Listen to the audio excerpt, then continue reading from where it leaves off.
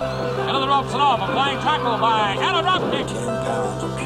Got to hold it just a minute. You want a little bit more? Gotta be the best of means more to me than anything I've ever done in wrestling. They call this the 10 pounds of gold. The championship has existed in its current proper form since 19. Yeah, was pretty hard. And look at what he's going to work now. Ooh.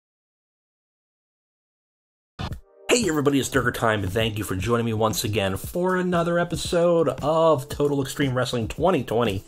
Billy Corgan's NWA, hot off a pretty damn good power, I think. Um, had a lot of stuff happening in it. Uh, we had the debut of our new, not a cult. It's not a cult.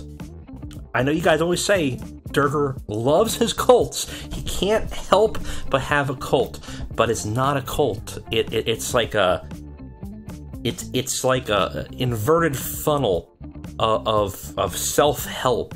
You know, people at the bottom they they they're working to better themselves, and the people on the top know how to better themselves, and the people at the bottom just have to, you know, buy some material and and learn and and become you know enlightened and then they can move up that ladder and they can help train other people. It's total it's not a cult. It's not a cult.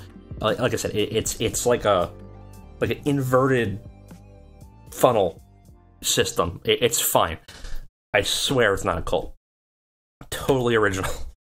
So we have that going on. Uh we have ace austin our next gen uh, global force champion getting the stipulation that he is always on the line, or the title is always on the line, I should say, whenever he's fighting. We have Matt Cross was uh, uh, talking to Nick Aldis backstage, some stuff going on about that. We had a whole bunch of little things going on. Obviously, our big thing right now is our champion is currently, uh, you know, injured, uh, still waiting for them to show back up. We got 13 days left will be well in time for them to debut again uh, at My Vicious Valentine.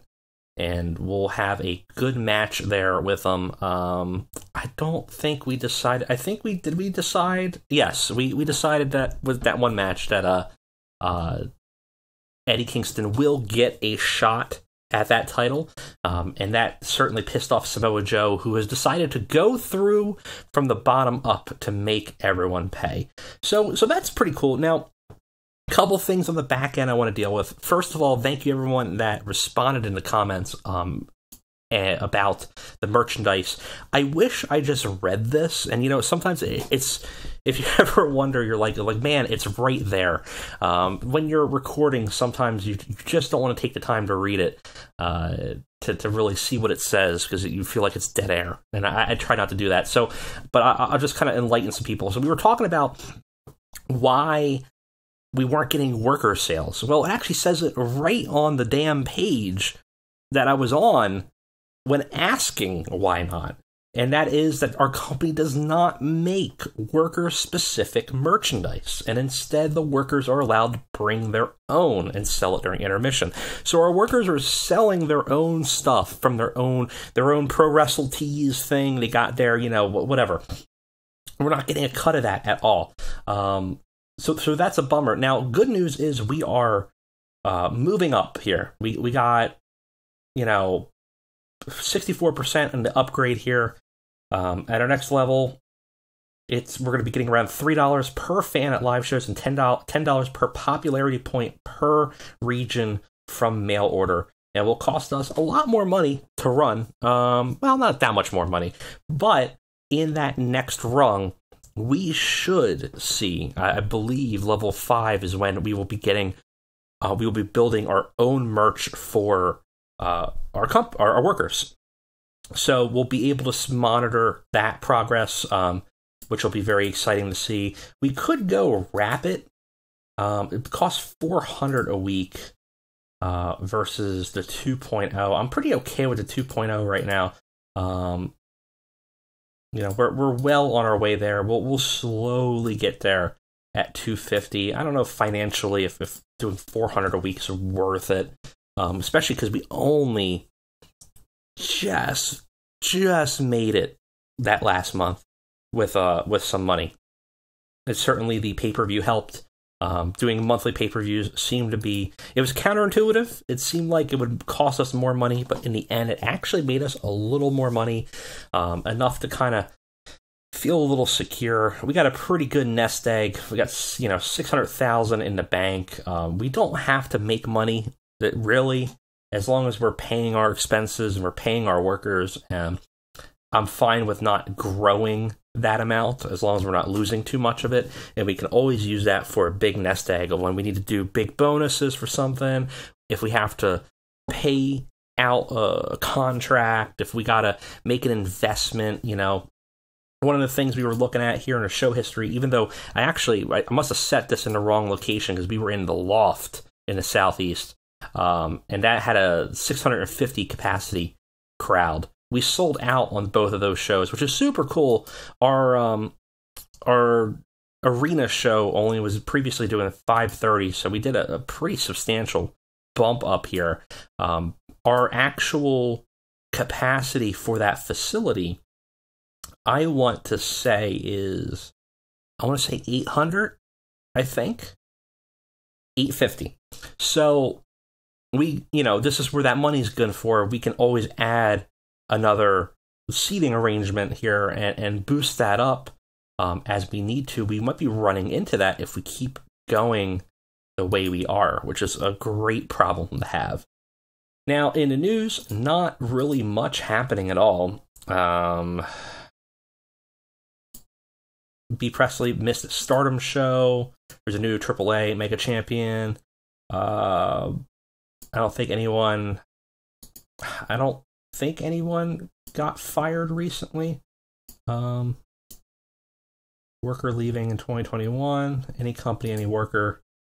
Yeah, not really anybody. Um, there was a loan for Takahashi. We got Joe. Red Shoes left, but I don't think we need another um, ref, as fun as that would be. Uh, Gresham left, but you know he was in our tournament, and uh, you know we're not we're not going to do anything about that. Um, speaking of the tournament, we are down today. King Mo versus Chris Brooks. I get to make the decision. Um, I have to really think about it. I don't really know. Um, I have an idea of who I might want, but you know, it's it's tough. So let, us look at these guys real quick. Let's, so Chris Brooks is young, works heel, has a good gimmick, um, very strong psychology, very strong technical work, um, and and fairly solid uh, back end uh, metrics here, right? So looking pretty good there. Um, popularity, he's okay. He's 20 where we are, and that's mostly because of us, not really that famous anywhere else. He's based in Japan. Um, much more popular in Japan, of course, but not horrendously bad there for us. Good, strong technical worker, um, very strong hand. Probably would not be a major um, champion for us or anything like that. Would be a really good hand. Uh, we got King Mo, so King Mo has much more popularity around. Um, he's got that MMA crossover kind of status, and obviously he had a uh, stint in TNA. So, um, so you know he he's got a little bit of a little bit more popularity. Uh, eight years of experience, a lot older. So his his run here would be much shorter. His technical strong. Uh, his microphone and acting work and star quality is much higher than Chris Brooks, which would definitely put him at a big advantage, especially his menace as well. Uh, we could believably book him as like a mid card monster in some capacity. Um, and probably be pretty okay. And he's got a decent popularity pretty much everywhere in the U.S. if we were going to tour. Ranked 440 in the world, uh, certainly not too bad. Chris Brooks is not ranked in the world at all yet. Uh, Chris Brooks could have a higher long term potential for us in the sense that he might grow. Um, his microphone work's not great right now. His acting is not great. So most of inter- most of his entertainment based attributes are going to mean that we really would need to pair him with a technical wrestler to get the most out of him. Um, but again, he also probably has another decade in him of, of talent, whereas uh, King Mo is pretty much on his twilight in the last three years. So, it, for my decision, it's going to have to be really do I want the short term gain now of having a really strong uh, competitor, really strong mic work guy with a built in popularity? Or am I, you know, but I know he's probably only going to give be another year, two years, three years, um, and he might be starting to decline? Or do we jump with someone who's a little bit younger, not a young lion though, has 14 years of experience, so he's not going to gain as much experience as a young lion would, um, but might have a longer tenure that uh that that could uh you know help us within within the longer term. Um, it's a hard decision. I, I think I know what direction I want to go. I think I know what would be right for us right now. Um, so I, I think I've made my decision on that, and we'll we'll play it out on the show. Uh, creative, we haven't looked at in a while. I would like to like, take a look real quick just to see as we're kind of week one in February of this save here. See what we're looking at. Uh, we got franchise pl- players Pentagon, Samoa Joe, Miro, uh, Eli Drake, and Nick Aldis. Our next big thing is we have nothing. That's scary. Um, that's interesting. These will be our future superstars, and we have none. That's interesting. means we need to we need to hire maybe another round of younger talent that might have potential. Uh, hot prospects: Ty Ray, Jason Cade, Chris Brooks, Zachary Wentz, and Danhausen. Um, you know, again, so we, we have Chris Brooks here being talked up as a strong uh, future younger member who's marked as future stars. Uh, talk to talk. We got Enzo, Joe, Drake, Pentagon, and Cabana. Our showstoppers, of course, are Pentagon, Joe, Austin, Miro, and Madison Eagles, which is an interesting element. Um, I, there was some talk about maybe signing some people um, from the WWE firings recently, um, which I, I every once in a while try to keep it kind of copacetic with the modern, even though it doesn't necessarily, even though we're behind now significantly in the real world. Um, I, I don't hate pulling those signings out because I think it adds a nice dynamic. Um, and I was kind of contemplating grabbing like Billie Kay and uh, Peyton Royce um, because I always want uh, more fresh faces in our women's division. Um, but I, I kind of can see doing something interesting with Matt with uh, thought crimes in them, and maybe building a storyline um, to get Madison Eagles as solo, kinda, and, and break up the team squad and, and, and make make something for her. I thought that could be kind of interesting. Uh, Ring Generals, Cash, Dax, Nicole Matthews, Madison, and Pentagon and uh, Pillman Jr., Kingston, Austin, and the Von Erichs are white hot momentum right now. Zicky Dice and Samoa Joe um, hurting momentum. Joe w- will be off that list pretty quickly. Interesting, we have nobody else on them who's not. Um, and then for hidden gems in the world, um, for our top five prospects, some interesting uh, Moose, who I would not consider a hidden gem. Uh, but is on that roster. Um, you know, don't disagree, but I. It, what's his contract? Like, is he just in a handshake? Huh. Huh. Interesting. I thought he was signed. I mean, yeah. Yeah that's I'm gonna let's shortlist that right now, and I we're gonna keep an eye on that. I think I could definitely see Moose playing a huge role in NWA at some point. Uh, Dickie Mayer, who I'm not very familiar with at all. Um, we'll say he's working with one of our partner affiliates. Okay. Uh, again, might be an option. Uh, not a young lion. Well, it's only had four years of experience. But uh, yeah, okay. Xander Jones, yeah. Brooke Adams, and then Mike Verna, uh, who was in our older iteration of this at one point. Currently unemployed, and um, decent, good hand, I will say, but not really. I mean, he's he's he's got rep all the way around, um, but not not not spectacular. I I could if we could ever find a storyline that made sense to bring him in. Um, I I always kind of view Mike Verna as sort of a discount Wardlow. Um, kind of fills that role. It's kind of unfair to him because he actually has a little more personality, but I think uh, Wardlow has a better top end. Um, but you know, we had him before, and he was fine. Um, we we actually had a really dumb storyline way back when because we don't have dumb storylines now, right?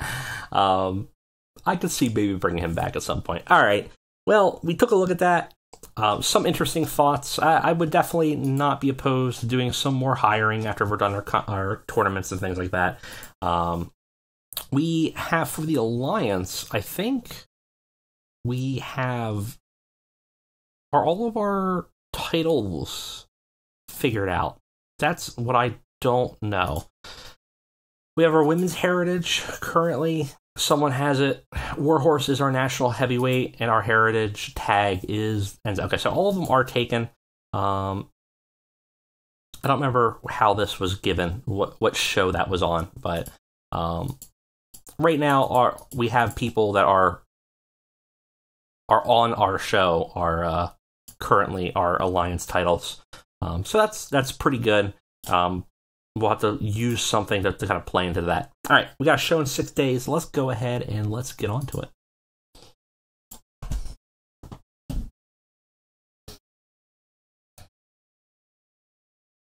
All right, we got looks like we got some mail here. Let's go ahead and take a look. Um, did I forget to? Damn it!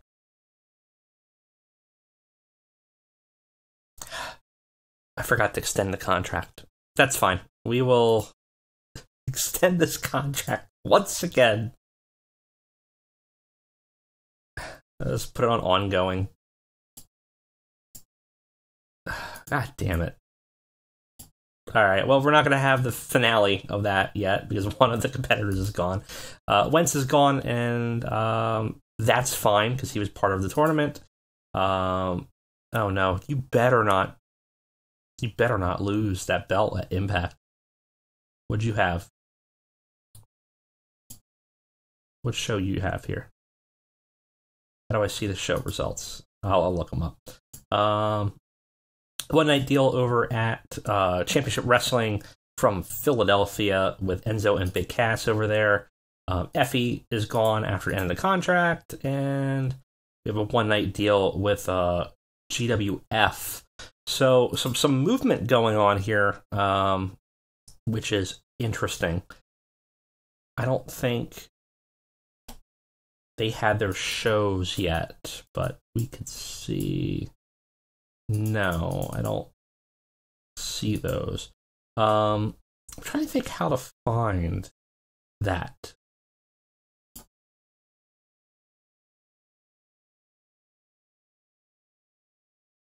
I don't see match history, maybe. Um. Yep. The Warhorse defeated Matt, uh, Michael Elgin to retain the Alliance title on Impact, uh, which is cool. Who else was on a show? Um,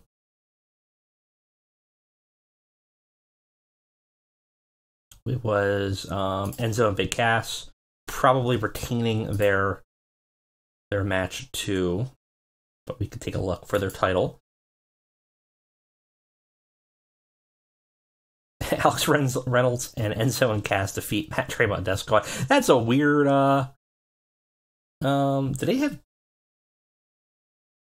what? What that? What? Oh, that was on Power. Okay, I was confused. That that's a weird signing match, but sure. Okay, yeah, why not? All right, let's let's go ahead and let's book our show and uh, let, let's move this story forward. We are auto booked in the correct venue this time, which is good. We have backstage incident. Um, shouldn't be a problem. Yep, Finley just helped with creating a relaxed atmosphere as he had a hell of barbecue outside and cooked for everyone. How nice is that? Uh, absent workers, probably Pentagon. Yep. Um, Pentagon's been hard to keep in um, on the show. He's just generally never available for us, which has been part of the problem. One of the reasons why we kind of moved through the Pentagon story so quickly had a lot to do with that, just not being able to pull him in. Uh, Pillman still out injured.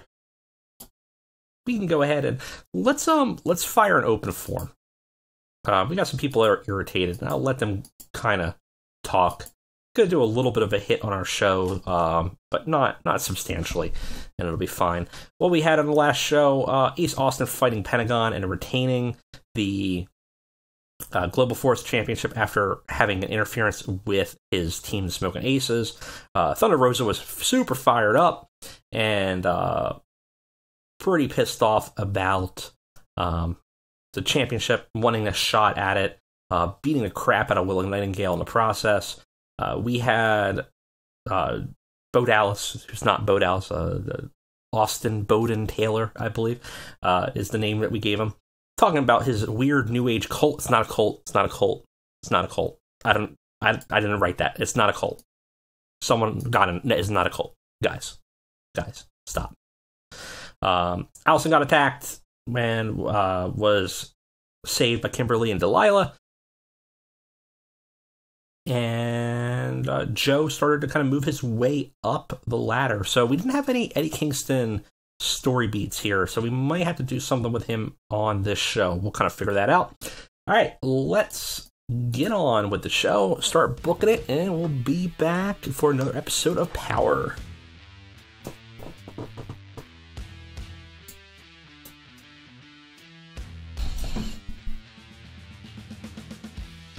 All right, everybody, we got a whole 95 minutes in the bag. A lot of story stuff going on, so let's not even really beat around the bush and let's just get right into this show for another episode of Power. We start off with uh with our buddy here, Eddie Kingston and Jeff Jarrett. Jeff Jarrett opens the show in a backstage promo. He asks Eddie Kingston to enter his office, which he does. Uh, from the camera, we see that the desk has quickly been taken over by various Jeff Jarrett uh, historic memorabilia. You got your your cowboy hats. You got pictures of him and his dad during the TNA NWA days. You got um, Global Force Gold logo. You know, you got you got all all the kind of the hits from Jeff Jarrett. He's clearly kind of made that desk as general manager home um, very quickly. And he he greets Eddie. He's smiling. He seems happy. Uh, not Eddie, Jeff Jarrett. Um, he says, "You know, th- thanks for coming in, Eddie. Why, why, don't you have a seat?" And you know, I, I don't, I don't tell. Don't let anyone hear this, okay? But uh, you know, you really are my favorite ro- member of the roster. You're my favorite wrestler. You're really a wrestler's wrestler. I, and I really respect that. Eddie looks at him as though uh, Jeff Jarrett's words just kind of ring hollow. Um, he sees right through his snake oil he's trying to sell. Eddie just kind of scowls back and goes, What do you want? He already kind of knows something slimy this way comes. Jeff leans back in his chair a little bit says, "Well, I I just wanted to give you a heads up. You know, I I've been following the medical team and I've been following Pillman's recovery and I I'm not sure if he's really going to be ready to have a fair match. And if he can't compete at the level that I can accept, well, I'm I'm going to have to delay the match. And and that means I'm going to have to restart, reset the number 1 contendership as well. Eddie slams his fists right down on the desk. Bullshit. You just don't want me to beat his ass. You just want your pretty boy as champion. Jeff sighs and goes, Listen, I'm a businessman. The company, before it was Billy Corgan's, was my legacy too. My father's legacy. I just I just want to make sure that we don't tarnish it. I want to make sure that we have all the right pieces in place. I want to make sure if the matches need to happen that they're fair and to give all the people the right shot to win. Eddie doesn't really take anything he says to heart. And Jeff Jarrett kind of just gives him a good, good luck in your match tonight, Eddie, as he walks away. So um, Eddie was actually poor when improvising the dialogue here, which is kind of interesting. Um, so Jeff Jarrett did a fantastic job. Got the show to a crowd, a strong start, and got the crowd hotter. Uh, segment gets a 59, and we're left with a weird situation. Again, Jeff Jarrett just doesn't quite make sense. It feels like he's a heel one week and a face the other. Maybe he really just cares about the legacy of the NWA, um, or maybe he has something else in his sleeves. Um, but there definitely seems to be a, a animosity uh, between him and Eddie, even though it seems like Jeff at, at the face doesn't want to say that he's reciprocating it. Um, kind of an interesting dynamic between the two. We have another squash match for Samoa Joe. Uh, it's pretty damn quick. Joe had a 75, and our local jobber, Killer Nichols, had a 24. And uh, it was such a severe beatdown that Nichols actually got a twisted knee from it. Uh, Joe ends it with a submission, gets us a 41. Yeah. And afterwards, Samoa Joe grabs a cameraman who is on the ring apron and rips the camera right out of his hands um, to bring it to his face uh, with such force that the cameraman actually stumbles off of the apron and takes a bump from it. He stares deep into the camera, face square with it, eyes blazing white hot with intensity. And he scowls and talks right to Jeff Jarrett th- through the uh, through the camera. It says, Enough jobbers, enough fodder. Jarrett, I know you're watching this feed. I want a real challenge. If I don't get a real roster challenge in the next minute, I am going to fight anybody, crew, announcers. I don't care. I'm going to make people hurt. After a tense minute goes by, and just about he just about when he's about to make do on that promise, Eli Drake comes out ready to brawl. The two have at it, leading to a fight that's inconclusive to the back as they fight their way backstage.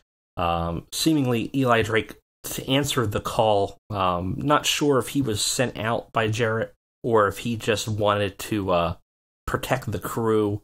Um, but definitely, Eli Drake's been known to have a chip on his shoulder, so he might have just kind of ran out there to uh, stop Joe from having an onslaught. Eli Drake was superb with his mannerisms. Um, we had him set as entertainment, so maybe he said some stuff beforehand. But uh, either way, the segment is fantastic. It's 74.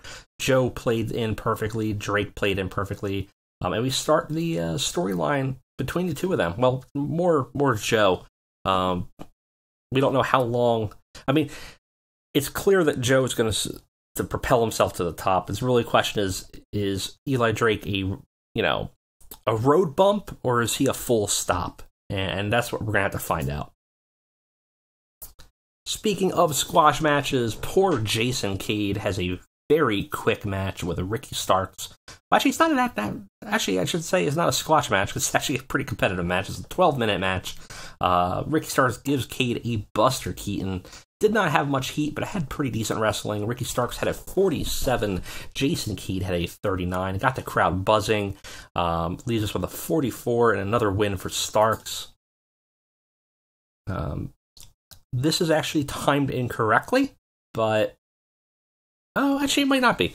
Um, so after the match, uh, Ricky Starks' former partner, obviously now down in the outs and having left the kingdom, um, holding a crumpled up pamphlet in his hands that he was given by from Nick Aldis. Um, he knocks on a door, and as the camera rolls up, to reveal that it has the Satori Initiative logo on it. Um, door opens up, and he walks inside and closes the door, uh, seemingly joining this Satori Institute of Learning and Enlightenment and Enrichment um, to see if it can help him and uh, obviously uh, don't know how that's going to play in or where it's going to go. But Matt Cross does join that. Um, we advance the uh, Satori Initiative storyline, move up a little bit in the segment rating. Um, it's not too great, but overall, it's not too bad for for who we have in there. Pretty solid match here. We got Von Erichs fighting War Machine.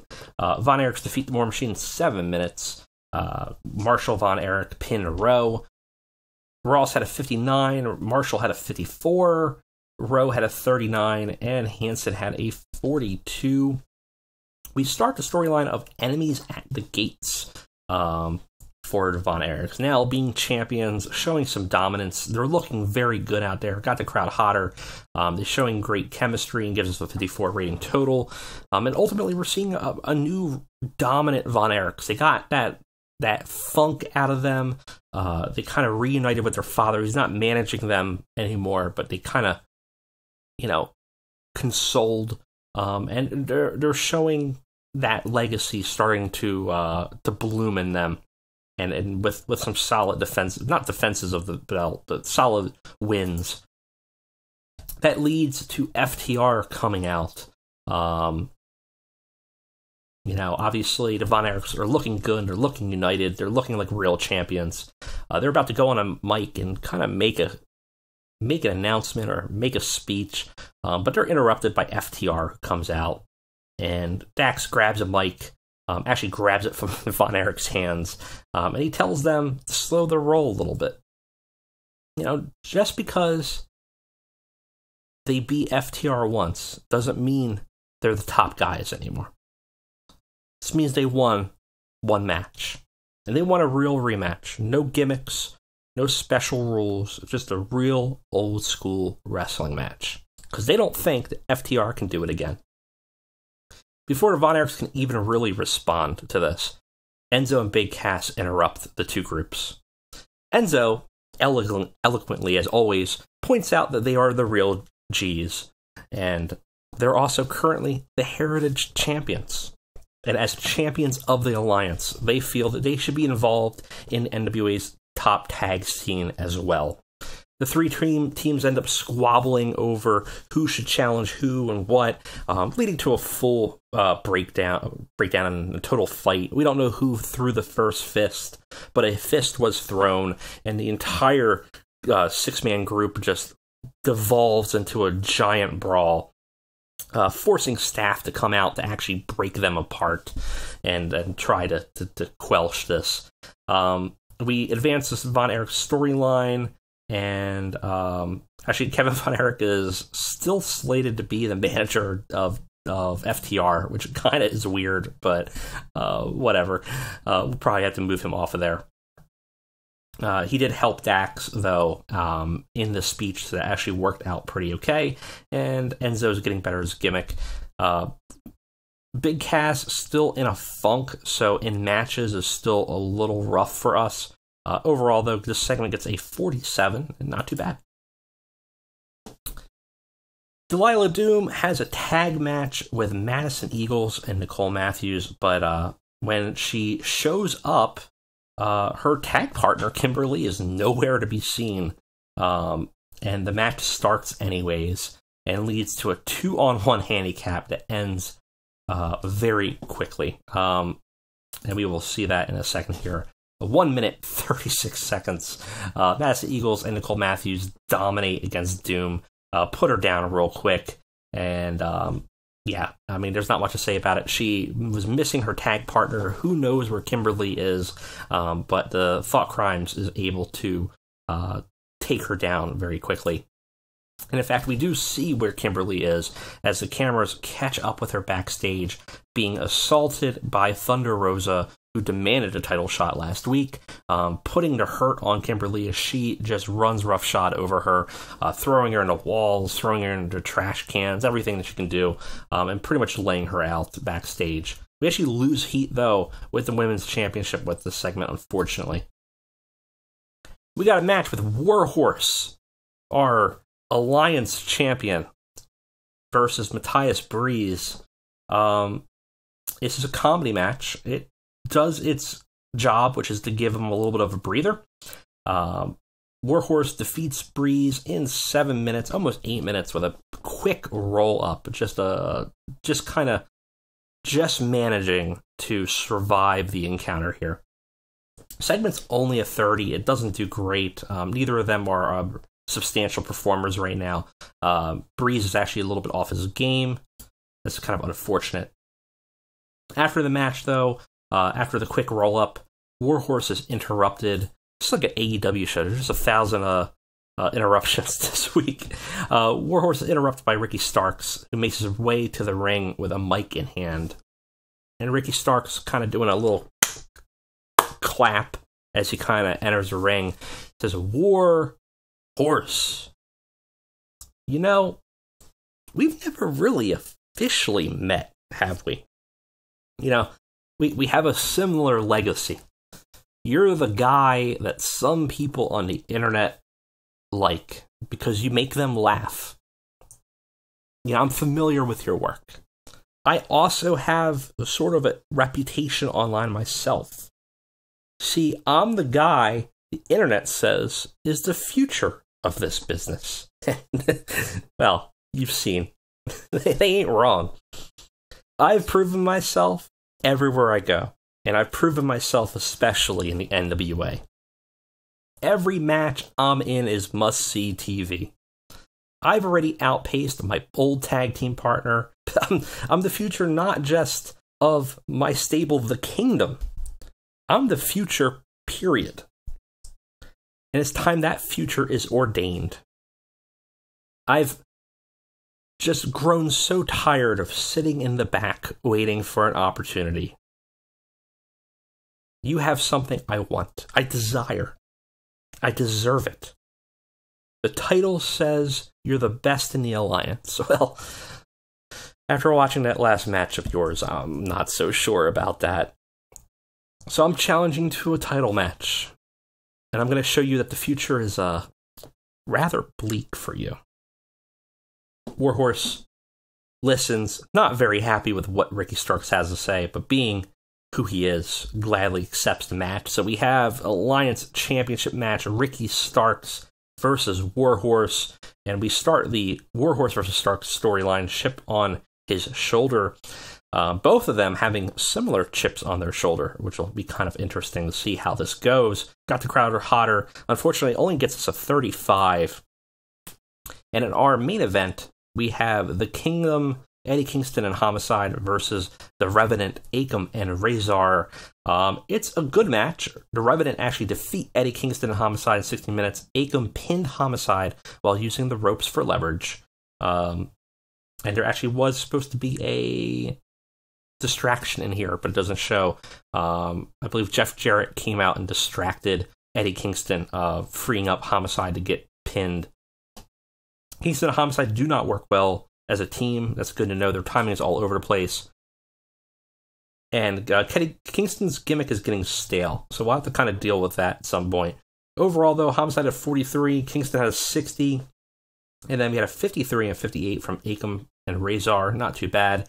Uh, we advanced the storyline. Razor, the Revenant, advanced the storyline for the enemies of the gates because they showed some credibility, um, leading to some bit of a problem of like they just toppled, you know, basically one of the main eventers of NWA right now. Um, they should probably have a shot at the titles as well. So we'll see how they kind of feel about that whole situation. Uh, with it gives us a 57 rating. It's not horrible.